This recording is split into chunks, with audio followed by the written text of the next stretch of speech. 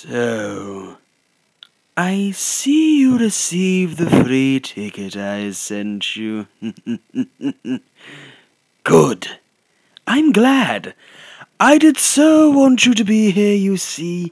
It doesn't matter if you catch me and throw me back into the asylum. Gordon's been driven mad. I've proved my point. I've demonstrated that nothing stands between me and everybody else. All it takes is one bad day to drive the sanest man alive to lunacy. That's how far the world is from where I am. Just one bad day. You had a bad day once, Bats, am I right?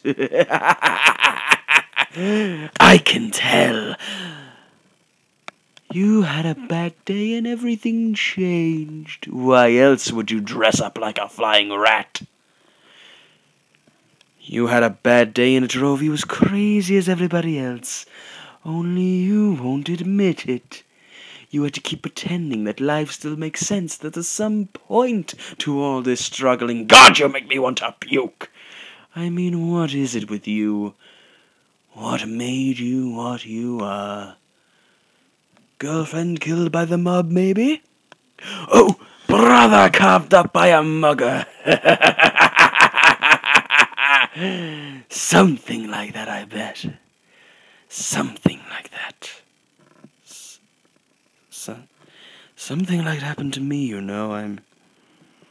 I'm not exactly sure what it was. Sometimes I remember it one way, sometimes another. If I'm going to have a past, I prefer it to be multiple choice. my point is.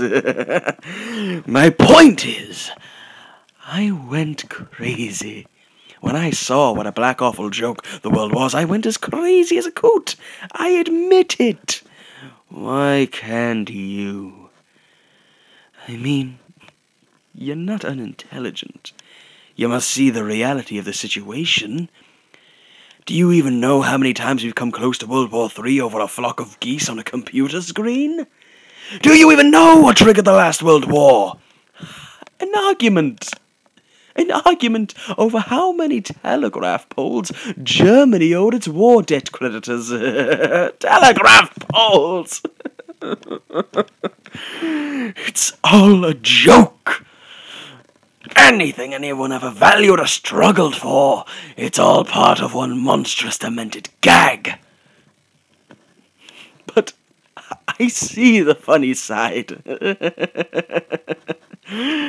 Why can't you? Why aren't you laughing?